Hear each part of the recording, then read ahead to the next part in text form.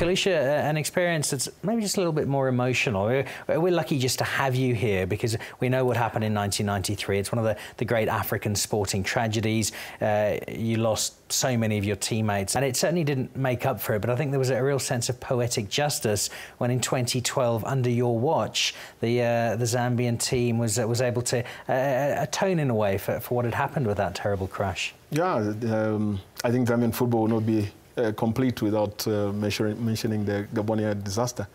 Um, we in in this time, like I said, in the 80s, we used to in the 1890s used to go. I was in uh, Belgium first in '85, and then afterwards, of course, in PSV. And so the traveling was not like today. So I would, you know, jump on a plane from Amsterdam, you know, go to London, and London come to Lusaka um, uh, to play the match if we we're playing at home. But if we we're playing away, it was easier for me to go uh, direct to the country.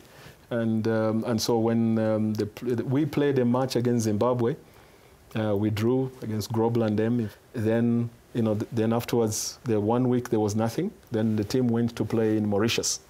Um, and then straight from Mauritius, we were starting the World Cup qualifier against, against Senegal. And so I was excused for this match because I went back to Europe, and then I was only going to go straight to, to Senegal. And so this is when uh, we had the, the plane crash. I was in um, Amsterdam, uh, got a call. Then afterwards, we had to rebuild the team.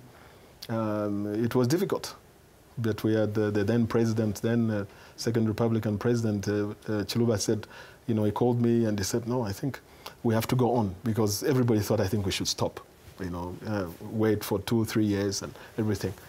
And then FIFA gave us a dispensation. They said, no, we'll, we'll give you about uh, six weeks in which to regroup and start with a new team altogether. And um, uh, with credit to that old team, with the new team that started, you know, we, we, you know, to start was very, very difficult. But when once we started, uh, the team went to the final in one year. In the same year, the team went to the final in 1994 in Tunisia. We lost to, to Nigeria. Uh, and then we lost to Morocco before, for, the World Cup. So did a lot. And, and in my opinion, in my, my mind, I always thought that uh, we had to do something for the fallen heroes. We had to do something. So when the chance did come, you know, to in in uh, 2012 with Zambia, you know, with Chris Katongo and Rainford and, and the boys Isaac Chansa and um, uh, uh, Chris Katongo and everybody, it was um, it was uh, unreal. Um, we went, you know, we went to uh, the final in Libreville, the stadium. It is about seven kilometers from where the team uh, uh, died.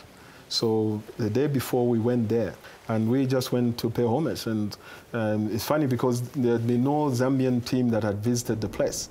But um, I think there was a connection uh, after that because I think Zambia was a different team the next day when it played against uh, against uh, Cote d'Ivoire. Well, it was a story that started with great tragedy, but a happier ending of sorts in 2012 and a, a lovely story for Zambia.